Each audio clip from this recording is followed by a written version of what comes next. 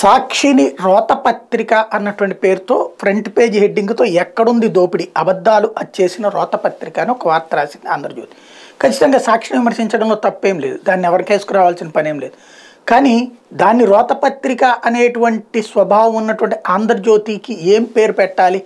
అంటే నీచ పత్రిక అని పెట్టచ్చేమో. ఎందుకంటే నీచత్వం నరనరానా జీర్ణించుకున్నటువంటి పత్రిక కాబట్టి దానికి సాక్ష్యం ఆ వార్తలోనే ఉంది. ఏం జరిగిందని అక్కడ ఎక్కడుంది దోపిడీ అంట.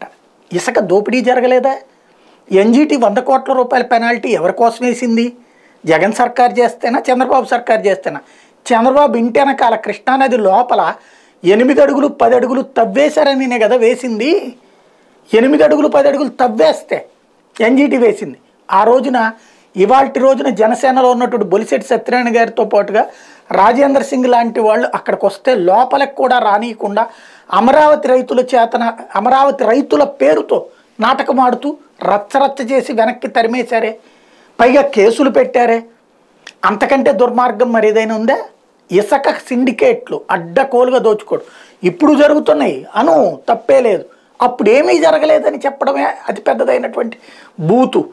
నీతి లేని బూతు రాతలు రాస్తూ నీచత్వాన్ని అడుగడుగునా చేర్చుకుని ఇప్పుడు కథలు చెప్తే మద్యంలో ఏమీ జరగలేదట. బెల్ట్ షాపులు లేవా? లేకపోతే పర్మిట్ రూమ్స్ లేవా? ఇప్పుడు ఉన్నాయను ఇప్పుడు పర్మిట్ రూమ్స్ లేవు. బెల్ట్ షాపులు ఈ మధ్యన వస్తున్నాయి అంటున్నారు. అదను అను తప్పులేదు కానీ అప్పుడేమీ జరగలేదనటం వల్లనే తప్పు. అదే నీచత్వం ఒక్కసారి ఆత్మ అనేది లేదు కాబట్టి వాళ్ళని విమర్శించుకోమండం కూడా దండగేమో.